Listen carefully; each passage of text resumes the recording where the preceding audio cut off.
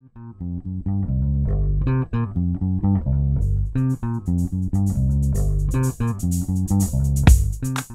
is jouw passie? Mijn passie is uh, techniek en innovatie. Met name innoveren uh, op de manier waarop je de klant uh, behandelt en ervaring geeft. Wat is daarin veranderd? Ehm, de klant verwacht dat. Die, is, die heeft niet zoveel verstand van de auto als dat wij hebben. En ik denk dat het aan onze taak is weggelegd om de klant daarin mee te nemen. Wat zet je daarvoor in? Welke manier? Uh, beeldmateriaal. Wij hebben bijvoorbeeld uh, zelf een fototool ontwikkeld. We maken foto's uh, van, de, van de diagnose van de auto. Dat ja. klinkt heel technisch. Maar daar bedoelen we mee, als wij een auto wordt gebracht voor een onderhoudsbeurt of van APK en die kijken we na.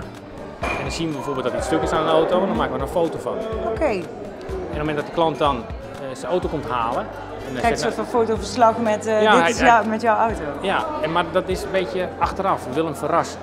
Waarom? Dus hij weet niet dat we foto's maken. We zeggen alleen, nou, die draagarm is vervangen. De gemiddelde klant weet niet waar een draagarm zit aan nee. een auto. Hij zal misschien weten dat er ergens onder de auto zit. Maar volgens laten we die, die kapotte draagarm zien. Dus niet fysiek het onderdeel, maar die foto van die kapotte draagarm. Want dat was dat het eerst was?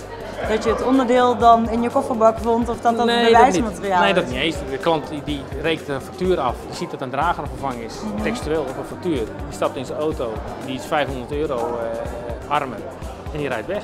En dat is het dan. Maar hij heeft geen idee waar hij voor betaald heeft. Want je hebt te maken met vertrouwen van, uh, van klanten, dat moet je niet beschamen.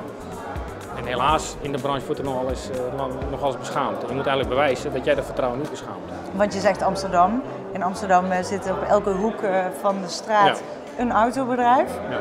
Hoe weet ik nou uh, wat het verschil is tussen jouw autobedrijf en een ander? Ja, dat, dat, begint al op het moment dat je binnenkomt bij een bedrijf. Dan krijg je een bepaald beeld, een bepaald uh, idee. En dat, uh, dat moet je continu bevestigen. En dat begint met hele kleine dingen. Dus je moet gewoon de telefoon opnemen, de klant begroet als die, als die binnenkomt. Als je zegt dat je gaat terugbellen, dat je hem ook terug, terugbelt. Als je zegt dat het 100 euro kost, dat het ook 100 euro ja. kost. En als je, als je merkt dat iets niet, niet begrijpt, dat je hem meeneemt om het wel uit te leggen wat er aan de hand is. Als ik bij jullie binnenkom, dan? Uh, zul je merken dat wij uh, het vertrouwen verdienen. Dat is een belofte, denk ik.